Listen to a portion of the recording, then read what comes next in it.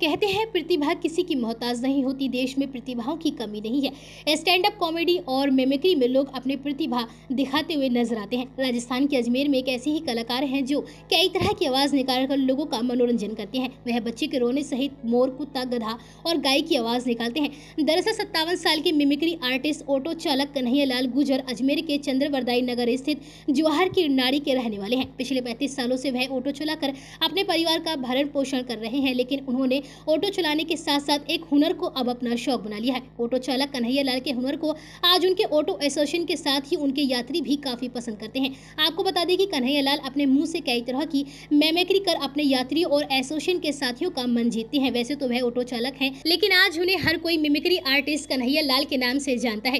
कन्हैया लाल ने बताया कि वह जानवरों में राष्ट्रीय पक्षी, मोर, गाय, कुत्ते, गधा सहित बच्चे के रोने तक की आवाज़ निकाल लेते हैं। ऑटो चालक कन्हैया लाल ने बताया कि बारह साल पहले उन्हें करने का शौक चढ़ा था। उन्हें यह शौक अपने ऑटो में फ्री बैठे रहने पर चढ़ा। उन्होंने कहा कि वह अलग अलग जानवरों की आवाज़ों को गौर से सुनते थे और उन्हें अट्रैक्ट कर उन्हीं आवाज़ों की हु हु मिमिक्री करते थे। कन्हैया लाल ने बताया कि वह अपनी मिमिक्री के ज़रिए अपने साथी ऑटो वालों के साथ ही अपने ग्राहकों का भी मनोरंजन करते हैं। उनकी कला देखकर सभी लोग खुश हो जाते हैं। अब उन्हें इंतज़ार है एक ऐसे बड़े प्लेटफॉर्म का जहाँ वह अपनी कला का प्रदर्शन कर दुनिया के भर के लोगों का मनोरंजन कर सके।